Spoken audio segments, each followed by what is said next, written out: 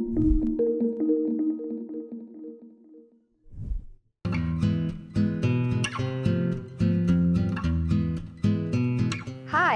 my name is Annalisa Ricciardi and I am a cataloger for the Americas and Oceania office at the British Library. Today I want to introduce you to one of the most fascinating cultural phenomenon of Latin America of the latest 20 years, Cartonera.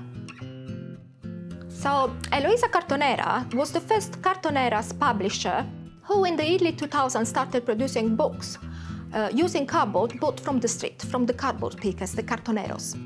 Cardboard pickers were people who were going around the street and collecting cardboard and they were selling for multiple purposes. They were often marginalized and banned from white middle-class neighborhoods, but their social reputation changed when the uprising of people from all classes and background came together in the street to fight for one common struggle.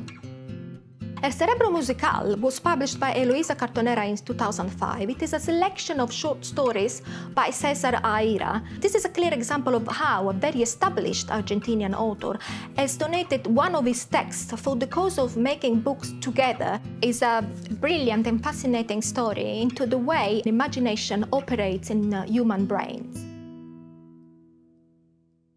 So the Cartonera phenomenon is a very colorful phenomenon, but behind, behind all these colors there is much more. So this is a sort of phoenix phenomenon coming out of the ashes of a country who was facing a financial disaster. And I think Cartonera is a clear example of how people have invented, in a moment of uh, severe recession, how to go ahead with culture, but also to find an alternative way to live.